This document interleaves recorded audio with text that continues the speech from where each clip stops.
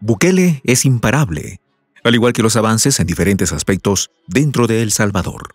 y ahora con la nación en su mejor momento desde hace décadas. El líder salvadoreño ha declarado que los ciudadanos jóvenes de la nación, al igual que las próximas generaciones, gozan de igualdad de oportunidades.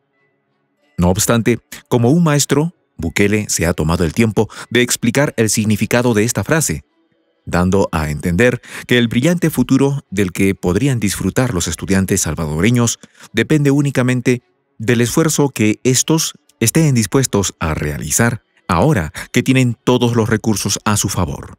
Los detalles a continuación.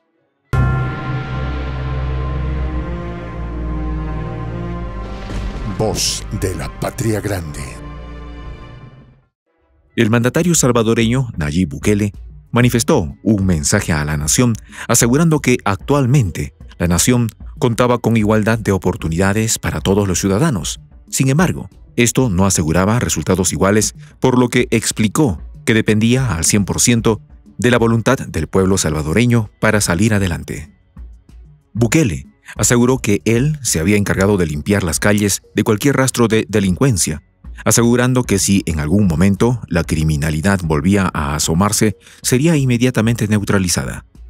Pero que de momento ya no hay pandillas que impedían que pudiesen transitar libremente o que llevasen a los jóvenes por el mal camino.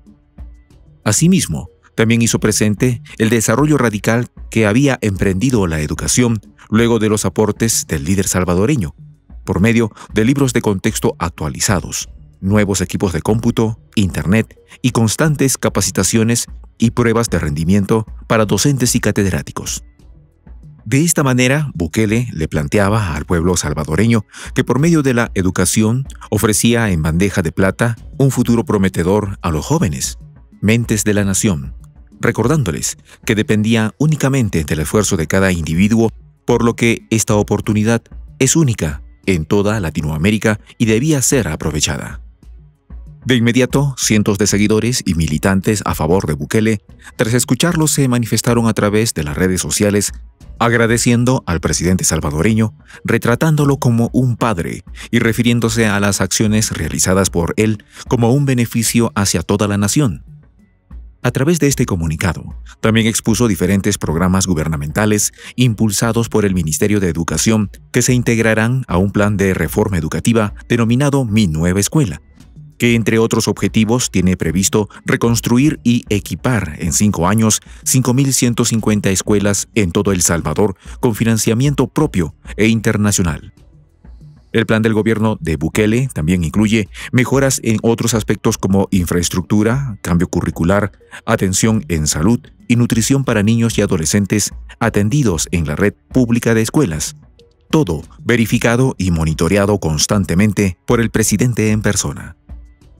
El mandatario destacó que quiere llevar la inclusión a un nuevo nivel por lo que buscará también agregar un modelo incluyente que mejorará la atención a los alumnos con todo tipo de discapacidades, para quienes el gobierno suministrará insumos didácticos auditivos, sensoriales y con el sistema braille.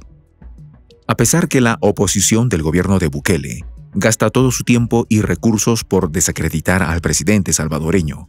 es en vano ya que incluso otras naciones Además de felicitarlo, han propuesto aplicar el mismo método en el aspecto de busca y captura de criminales o miembros de pandillas.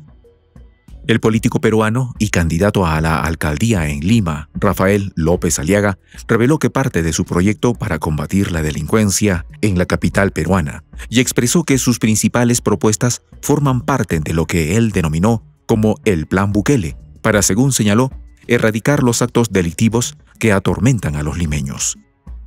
López Aliaga especificó que esto incluye la implementación de comisarías mayores, promover planes para agilizar los procesos judiciales contra delincuentes detenidos, con presencia 24 horas al día del personal judicial y fiscal, agregando que los ideales de Bukele habían hecho milagros en El Salvador, por lo que quería imitar su fórmula en el Perú. Gobiernos como el de Venezuela también apoyan las sanciones a favor de la seguridad en El Salvador ya que el propio presidente Nicolás Maduro asegura que la lucha de Bukele contra de las pandillas quebró finalmente el círculo vicioso que las pandillas y bandas criminales tenían para subsistir.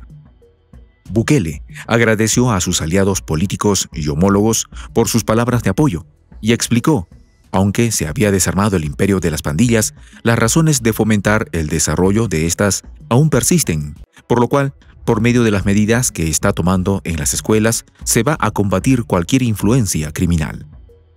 Según el mandatario salvadoreño, de esta manera se evitará que la juventud caiga en esas bandas y, de acuerdo con las propias palabras del mandatario, evitar que se conviertan en monstruos como el pandillero que fue detenido recientemente por herir con un, por herir con un machete a una persona inocente. La intolerancia frente a este tipo de personas es inquebrantable para Bukele, quien agregó que, frente a este tipo de casos, a estos criminales no se les podría tratar como personas buenas, asegurando que sus acciones los habían llevado a perder su humanidad y que había que tratarlos como los monstruos en los que se habían convertido. Asimismo, Bukele advirtió que, en este caso, la detención no significa que no se entienda que él se convirtió en ese monstruo porque lo abandonó el gobierno y el Estado durante los años 90 cuando aún no era un criminal, pero que no se podía arriesgar al resto de la sociedad por una manzana que se echó a perder. Los logros de Bukele lo han puesto en el ojo internacional ya que ha captado la atención mundial por su gestión al frente del país centroamericano. E incluso, en su cuarto año de mandato, se mantiene incrementando factores a su favor, mientras son cada vez más ciudadanos salvadoreños quienes deciden apostar por él. Recientemente, se han hecho públicos los reportes por parte del Centro de Estudios Ciudadanos de la Universidad Francisco Gavidia revelando que la popularidad de Bukele ha llegado hasta el 90%, una cifra sin precedentes y difícil de lograr en una sociedad escéptica por naturaleza frente a los líderes políticos. Sin embargo, de acuerdo con políticos y analistas, los logros de Bukele no son una casualidad, sino más bien el resultado de ser un líder que se enfoca por sobre todo en escuchar y comprender a su pueblo, al igual que sus necesidades, por lo que concluyó que va a llevar a El Salvador a sus mejores días. Y fue así como concluyó que para desarrollar el país al máximo era necesario centrar su atención en tres aspectos, los cuales eran la inseguridad, la educación y la moneda local, por lo cual puso mano dura contra las pandillas, mostró resultados tangibles a los problemas de educación y la apuesta por la famosa moneda digital del Bitcoin. Este trío de logros son lo que ha catapultado y proyectado la imagen internacional del presidente salvadoreño que le dio un vuelco a la política de su país, con resultados que saltan a la vista y que son imposibles de negar. Pero la oposición y canales como la CNN siempre van a soltar su veneno con tal de pretender ensuciar la victoria de Bukele. Durante buen tiempo, la legalidad de si se podrá o no realizar una reelección presidencial inmediata, ya que, por un lado, la Constitución de El Salvador, que data de 1983, lo prohíbe en sus artículos 88, 152 y 154. Pero ahora, un fallo de la nueva Sala de lo Constitucional habilita al presidente salvadoreño Nayib Bukele a postularse nuevamente como candidato presidencial. Esa decisión trajo consigo varios cambios en la política del país centroamericano, entre ellos que la nueva sala de lo constitucional abrió el camino para la reelección inmediata del presidente Nayib Bukele, en caso de que los salvadoreños lo eligieran nuevamente como presidente, lo cual ya es casi un hecho de acuerdo con analistas internacionales y locales.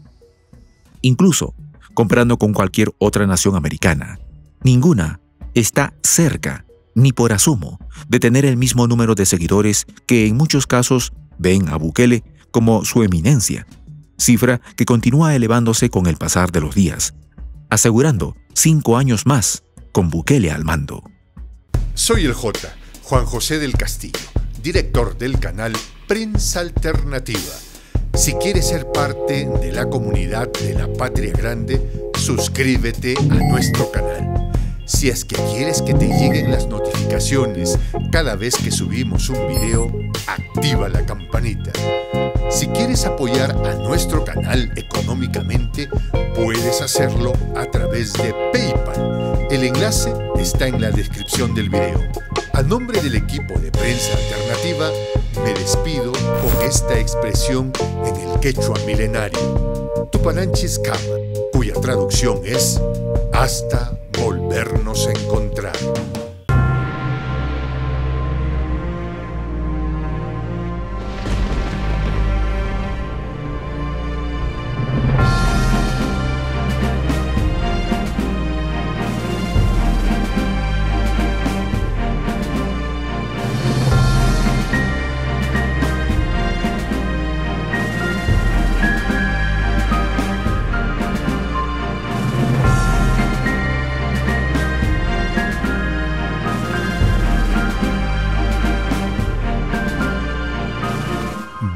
De la Patria Grande.